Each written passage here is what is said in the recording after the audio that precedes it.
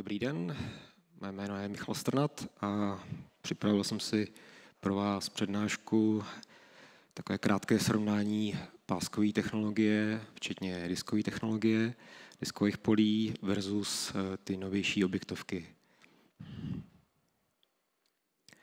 Eh, musím nějak eh, aspoň jedním slidem říct, kde pracuju.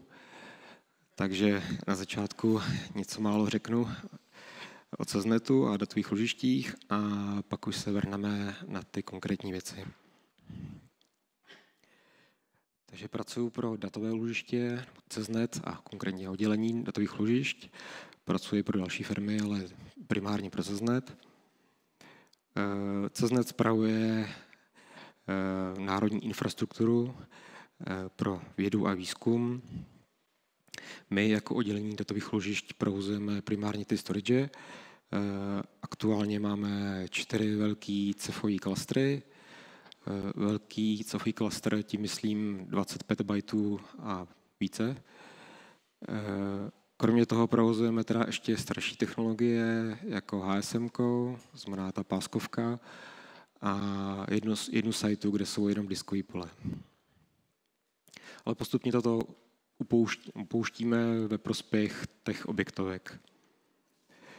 Eh, jinak na začátku už jsem jenom chtěl nastínit, že v podstatě tady eh, jsou potom úplně jiný protokoly, eh, že to není jenom o škálování a výkonu, ale i o jiném přístupu.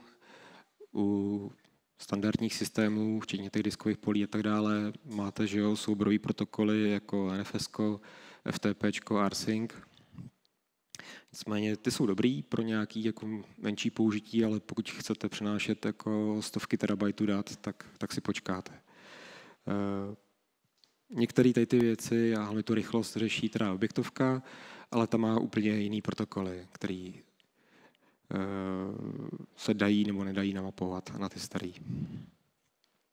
Jinak kromě tady toho eh, provozuje, provozuje naše oddělení i nějaký webový jako služby jako FileSender, OnCloud a nějaký open accessový repozitáře. Tak, diskový pole. Eh, ty asi všichni znáte, velká krabice narvaná diskama, eh, je tam jeden nebo více řadičů. Eh, samozřejmě tohoto asi nechcete provozovat v režimu jako JBot, že jenom jeden disk vedle druhého, bez nějaký jako vyšší logiky, která by umožnila výpadek jednoho nebo více disků, takže tam zavedete nějaký raidy, eh, šestku nebo něco jiného. Eh, nicméně ty raidy, ta technologie je dobrá, určitě dobrá, ale je s náma už pár desítek let a eh, má jaksi nějaké zápory v režimu, že musíte tam mít nějaký disky na paritu, nějaký disky na spéry, a když dojde k recovery, to znamená výpadku jednoho nebo více disků, tak eh, to diskové pole je z pohledu výkonu dost omezený a je to eh, tam pravděpodobnost, že nestínete, nestínete to dopočítat a přijdete o data. Eh, ty diskové pole, tak jak jsem tady říkal, můžou mít více kontrolerů. Kdyby jeden z nich náhodou vypadnul, většinou to úplně moc nepomůže a jeden rozhodí ten druhý ale, ale jo, je tam, víc, je tam možnost mít více kontrolerů. Eh, je nějaká omezená možnost zrcadlit i ty pole mezi sebou, ale není to úplně vždy ideální. A jenom jsem teď chtěl ještě zmínit, že kromě těch klasických diskových polí eh, jsou i maidy, to jsou v podstatě vypínatelné diskové pole. Asi tušíte, že to není úplně dobrý nápad. Z hardwareu, vypínat, zapínat disky neustále. Eh, zkoušeli jsme to mnoho let, není to dobrý. Když tak můžu říct vedle, je to na díl. tak, teďka ty páskové knihovny. Eh, pásky jako takový mají vysokou kapacitu, vyšší než eh, běžný dnešní disky. Výhoda toho je, že je můžete přemysťovat, znamená, můžete z té pásky vytáhnout, odvízt někam do trezoru nebo domů Eh, dají se dobře skladovat desítky let, aspoň to udávají výrobci, takže na archívy může to být dobrá varianta, ale zase pozor na jako magnetický pole, vlhkost a tady ty srandy. Eh, to pásky úplně nemají rádi. Velký omezení těch páskovek je spíš sekvenční čtení, to znamená, když máte tu pásku, tak vy vlastně musíte přetočit tu pásku na místo, odkud chcete číst. Eh, což eh, když ty data máte dobře naskládaný, tak, tak to asi je v pořádku, ale to se vám nevždy povede, takže ten soubor může být až na konci té pásky. Ta páska se nějaký čas čte, docela dlouho, eh, takže to může být pomalý, hodně pomalý. A může tam být jenom část toho souboru, který chcete, a další část může být úplně jinde.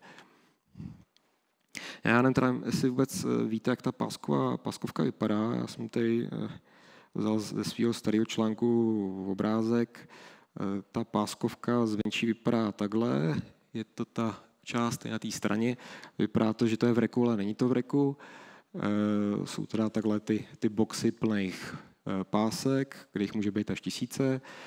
Uvnitř jezdí jeden nebo více robotů, který vždycky dojede ke konkrétní cartridge, té pásce, zkontroluje pomocí kódu, jestli ta páska je opravdu ta, kterou on hledá, eh, vytáhne ji a dají do driveu. Drive je čtecí a zapisovací mechanika. A v podstatě to je další obrovský omezení těch páskových knihoven. Máte omezený počet těch driveů. Typicky třeba 8, 10, 12. On ten jeden drive stojí půl milionu, takže si to rozmyslíte. Kupovat jich příliš mnoho. No a tady je ten problém, že pokud eh, máte navíc nějaký sdílený, eh, sdílený přístup, to znamená na tu vaši páskovku nechodíte jenom vy, ale chodí tam třeba i uživatelé, tak eh, se v podstatě o to přetahují. Kdo dřív přijde, ten dřív mele a do toho jsou ještě servisní věci. Musíte ty pásky mergeovat, musíte je kontrolovat. Jo, takže jako uživatelé si můžou, můžou si dost počkat a i ty vaše operace se budou protahovat. Když kombinujeme to diskové pole a tu páskovku, tak dostaneme něco, čemu se říká HSM. Eh, máte tady ten anglický, eh, anglický přepis. Eh, v podstatě to HSM nedělá nic jiného, než že migruje ty data z těch diskových týrů na pomalejší pásky a opačně. Dělá to na základě politik, a který definuje administrátor samozřejmě. A tam to většinou bývá tak, že pokud ty data se dlouho nepoužívají, třeba měsíc, tak se zmigrují na pásky, se předpokládá, že na to nikdo nebude přistupovat, nebo v nejbližší době.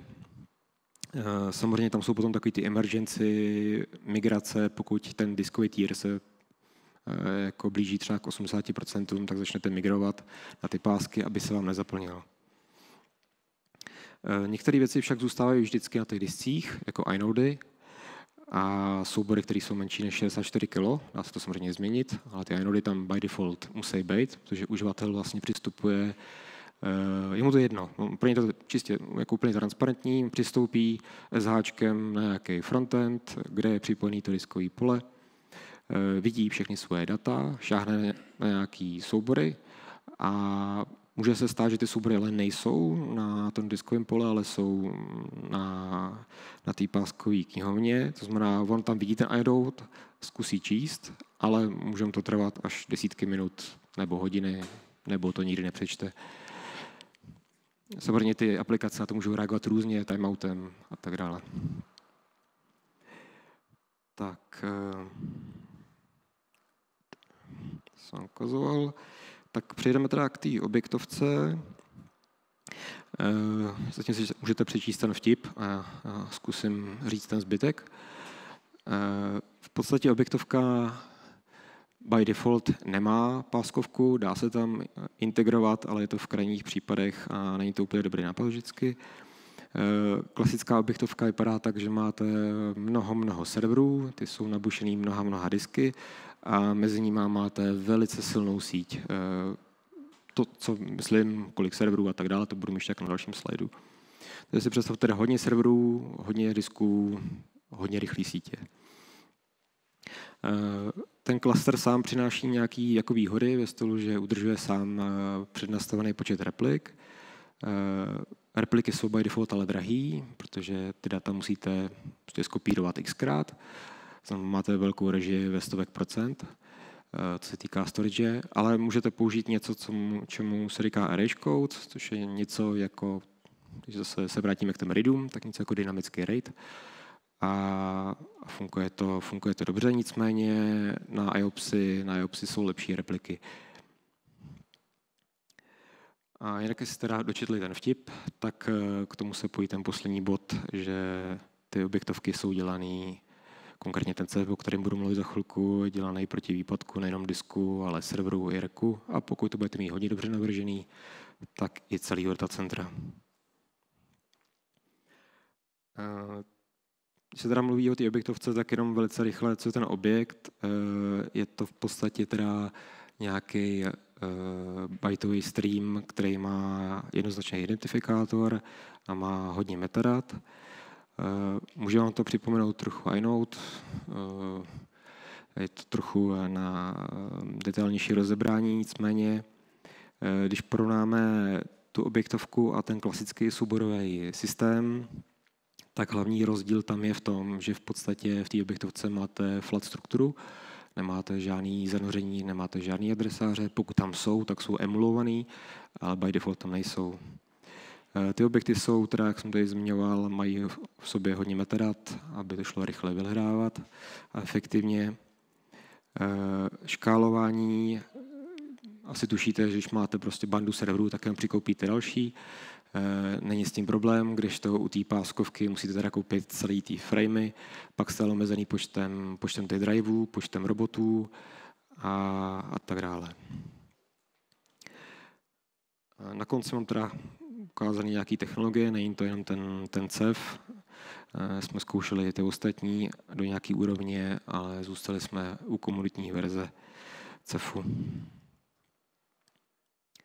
jsem tady zmiňoval, ten CEF teda má úplně jiný protokoly než, než, ty, než ty souborový jako NFS a rsync. Je tam S3, S3 možná znáte z Amazonu, si někdo použil. Swift, to je spíš jako věc OpenStacku, ale i dalších aplikací. CFS, protože tam lidi chtěli tu, ten file systém, tak je tam emulovaný, takže i toto tam najdete, když budete potřebovat. A RBD si můžete představit jako iSCSI na stereoidech, jakože je to velice rychlý, má to plno feature a netrpí to tolik na ty síťové latence jako iSCSI.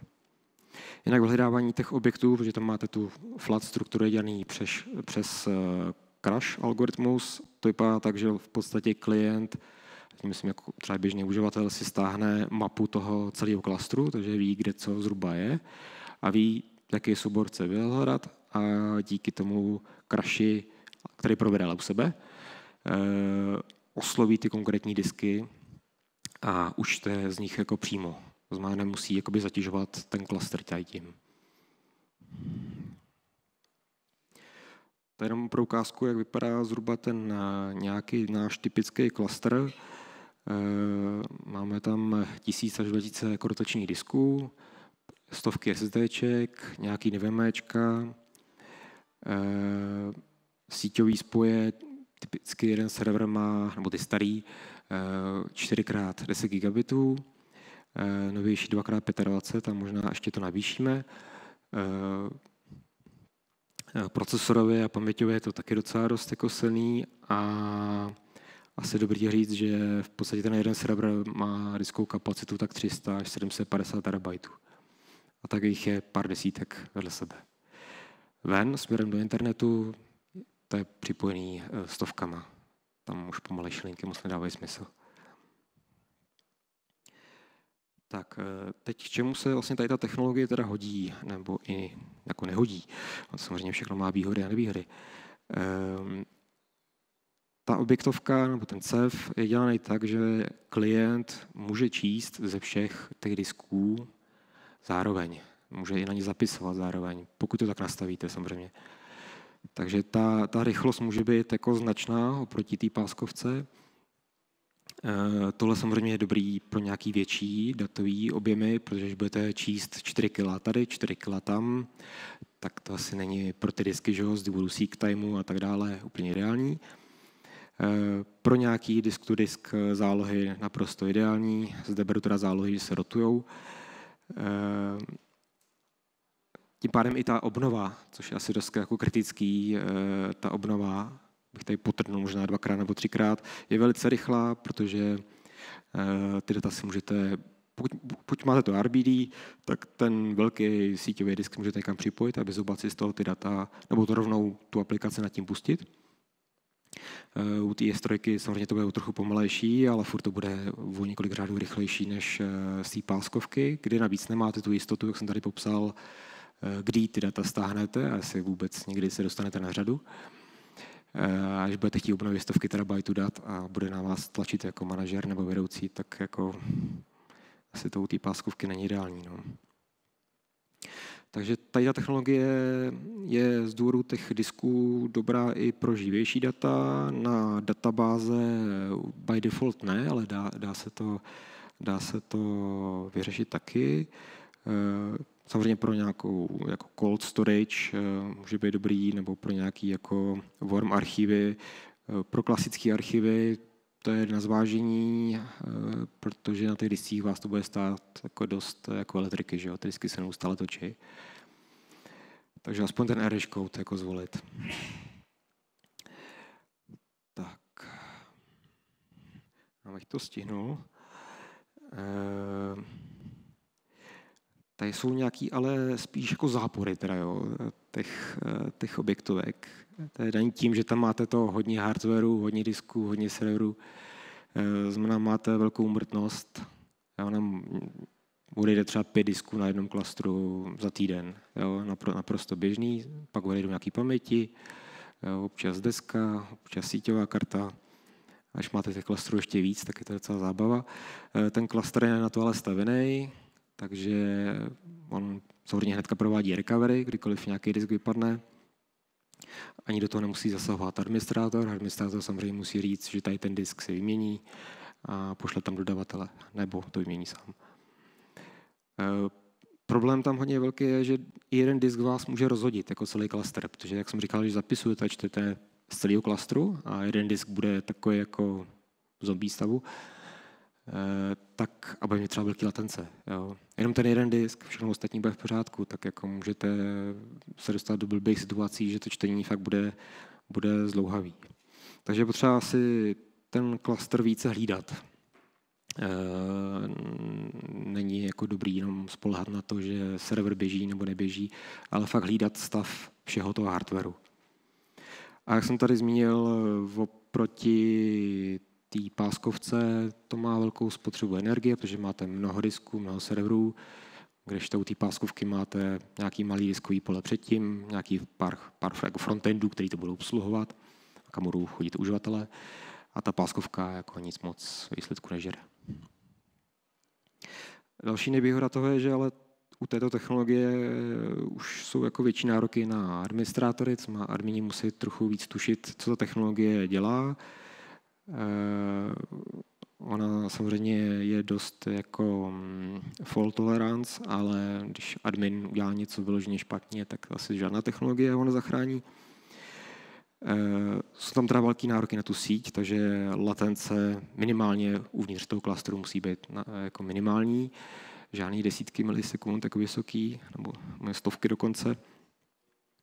To si představíte, když uživatel čte z toho celého klastru, tak eh, se tam sčítají ty latence. Sčítají se z těch disků ze všech, nebo ten, ten, ten nejpomalejší disk, že jo, plus ty latence mezi těma serverama a, a ty latence směrem k němu.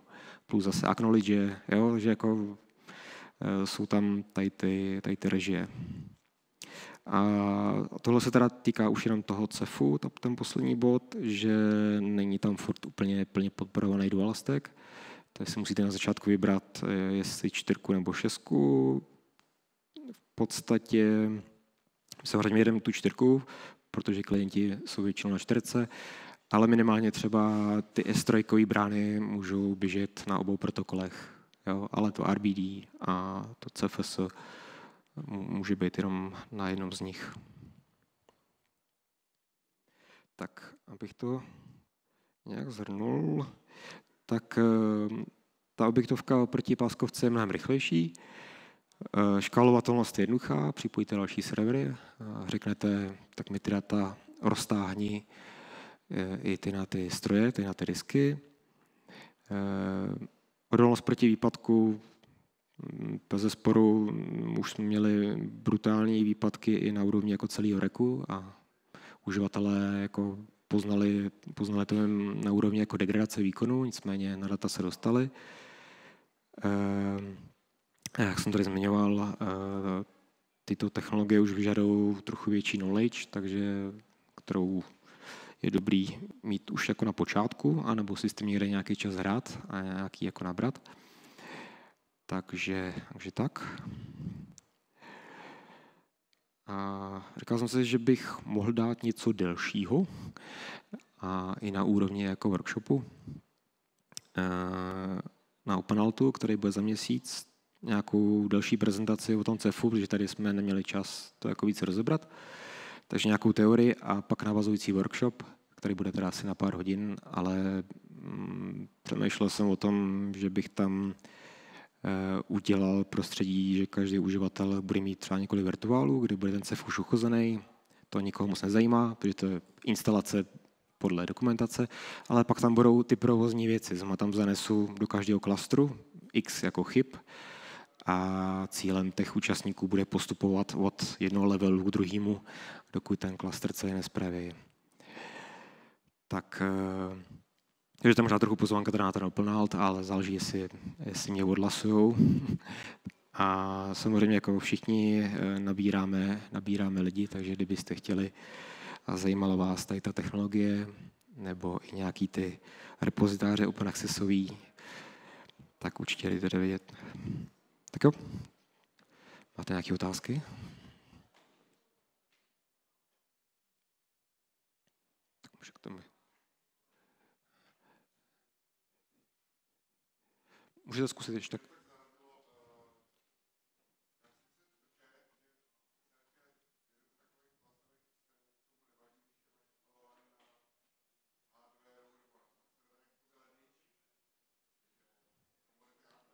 Jo, ano.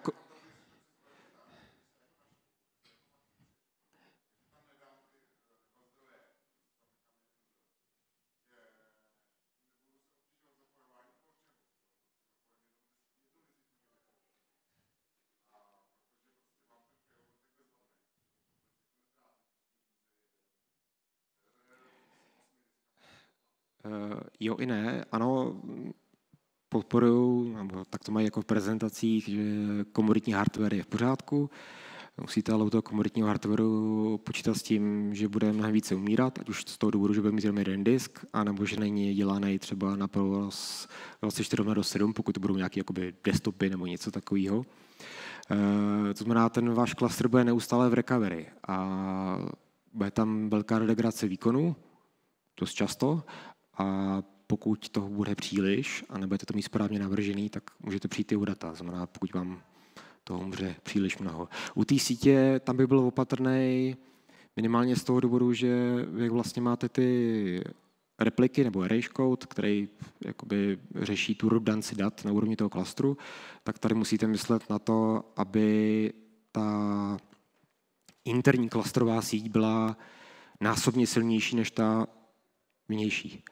Já znamená, pokud budete mít klienta, který k vám bude posílat data 10 gigabitem, tak byste kvůli těm replikám, a by default jsou 3, měl mít minimálně 30 gigabit mezi těma strojema. Jo, protože jinak, jinak to ubijete, tu interní síť ubijete, to jsme zkoušeli. to, jako, to už nefunguje. Jo, můžeme to probrat potom jako vedle, já vám můžu říct nějaký i jako drsnější historiky jako z provozu. Eh, kolik toho může umřít, když jako je špatný den.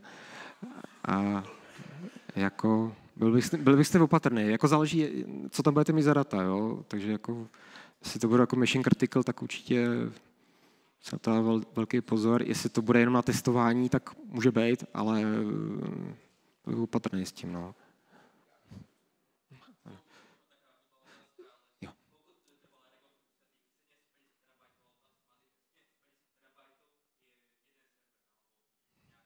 Plus minus, no, půl peta, řekněme, no.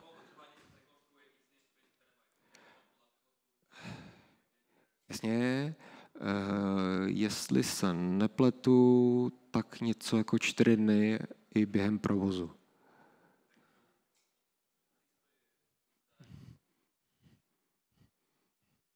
Ale můžeme to změřit, jestli chcete. Jako. Někdo vzadu?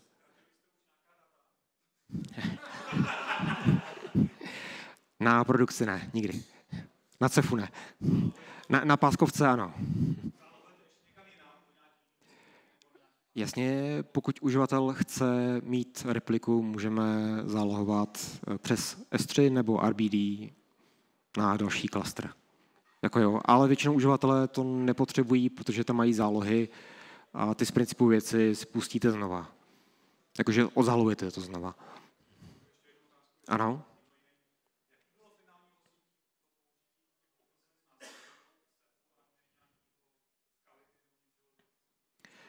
Jasně, tam jich bylo několik, ale v podstatě my, když jsme to zkoušeli a i debatovali s těma případnýma dodavatelema, tak tam to vycházelo na to, že ty licence by nás třeba stály 60 až 80% té částky, co jsme na tom měli. Jo? A i když tam započítávali nějaké jako edu slevy a takhle.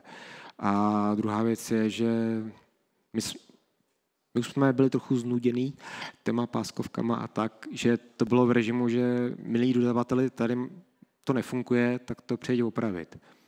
A spíš jako chceme mít na tím kontrolu a řešit chyby spolu s vývojářema, ale jako mít možnost do toho nějak zasáhnout, což u toho jako CEFu máte.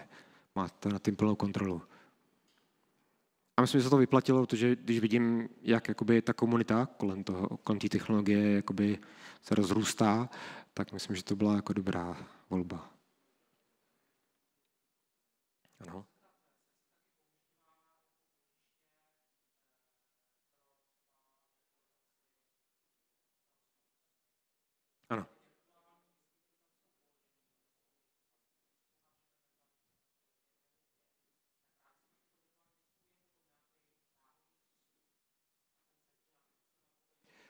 Tam je to v podstatě, jasně, tam je to v podstatě tak, že máte RBD image, což je teda jakoby to blokové zařízení pro ty virtuály, ale může to být použitý pro cokoliv jiného. Eh, to je rozparcelovaný na 4 MB bloky a ty jsou rozprostřený přes všechny ty disky eh, v tom půlu, v tom klastru. Jo, a tam jako to naráží často na to, že vy potřebujete ideálně zapisovat ty větší bloky nebo číst větší bloky, jak jsem tam trochu nastínil, že pokud byste jakoby, tam měl databázi, nějakou hodně živou databázi a četl a zapisoval 4 kilový nebo 256 kilobajtový bloky, tak eh, tohle bude trochu náročný. No. Dá se to řešit na straně klienta cacheováním samozřejmě, ale tam si zase musíte říct, jestli tu cache jako můžete ztratit, když umře jakoby, ten stroj, kde to cacheujete.